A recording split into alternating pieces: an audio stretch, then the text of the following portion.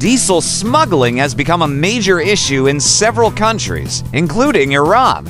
Often hidden in underwater cargo ships, these smugglers transport millions of liters of stolen diesel to countries like India, China, and Nigeria.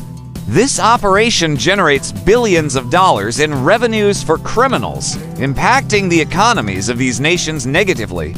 I want to discuss the reasons behind the proliferation of diesel smuggling in Iran and the challenges faced by the authorities in combating this issue.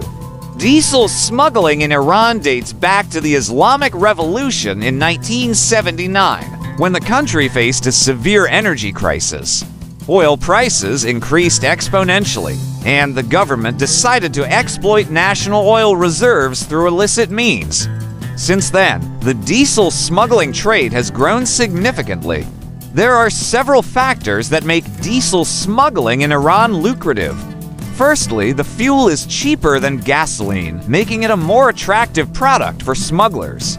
Secondly, the transportation of diesel through underwater cargo ships reduces the risk of detection as it is difficult to monitor such routes. Lastly, the revenues generated from diesel smuggling can be used to fund illicit activities, such as weapons proliferation and corruption within the Iranian security forces. The Iranian government has been struggling to combat diesel smuggling due to several factors. First, the clandestine nature of the trade makes it difficult to track and apprehend the smugglers. Second, the smugglers have access to sophisticated technology that helps them evade security measures and avoid detection. Lastly, the revenues generated from diesel smuggling can be used to fund terrorist activities, making it a threat to regional security.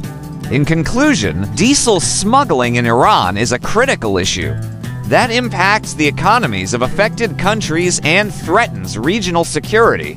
The proliferation of this crime stems from the economic challenges faced by Iran, coupled with the appeal of the illicit trade and the lack of effective government efforts to combat it.